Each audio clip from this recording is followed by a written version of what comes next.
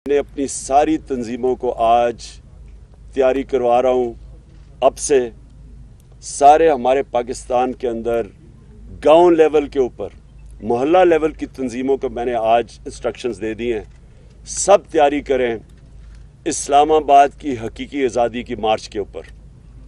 ये मैं डेट दूँगा इनको, लेकिन मैं तैयारी अभी से करवा रहा हूँ और इन ये इतना बड़ा ये अवाम का समुंदर आएगा इस्लामाबाद की तरफ़ क्योंकि मैंने कभी कौम के अंदर इस तरह का शौर नहीं देखा जो आज है उनके अंदर।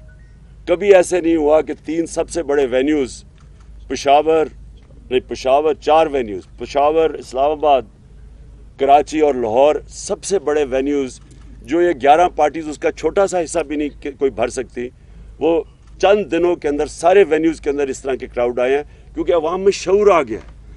लोगों, लोग बेदा बेदारी आ चुकी है। लोग समझ बैठे हैं कि इस कौम के साथ किस तरह मज़ाक हुआ है। और जिस तरह के लोगों को इन्होंने हमारे ऊपर मुसलत किया है, ये पाकिस्तान की तारीख में कभी भी ऐसे नहीं हुआ कि इतने ज़्यादा क्रिमिनल लोग, जमानत पे लोग, तकरीबन साठ, सत्तर फ़ीसद तो जो कैबिनेट बनी है, वो जमानत पे लोग हैं।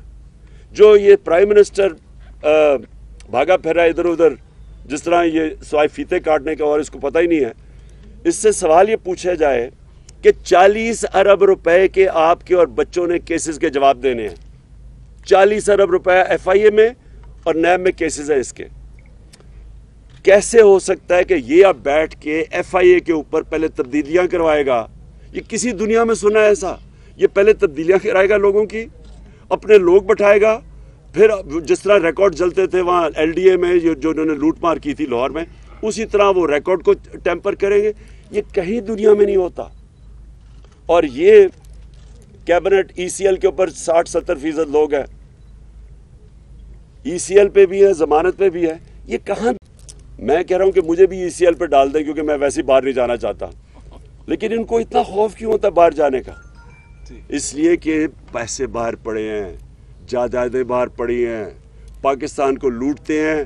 पैसा जब अरबों रुपए का बनता है तो वो बिस्तर के नीचे नहीं आता, इसलिए उसको बाहर भेजना पड़ता है। दुगना नुकसान करवाते हैं। तो मैंने अपनी सारी पार्टी को आज कह दिया कि हमारी मूवमेंट शुरू हो जाए। हर गाँव, मोहल्ले में अपनी तंजीमों को मैंने, मैं, आज मैसेज पहुँचा दिया, अपने सारे एम एन एम को बता दिया कि अपने लोगों को तैयार करें और मैं इन कॉल दूँगा इस्लामाबाद की हकीकी आज़ादी की बात।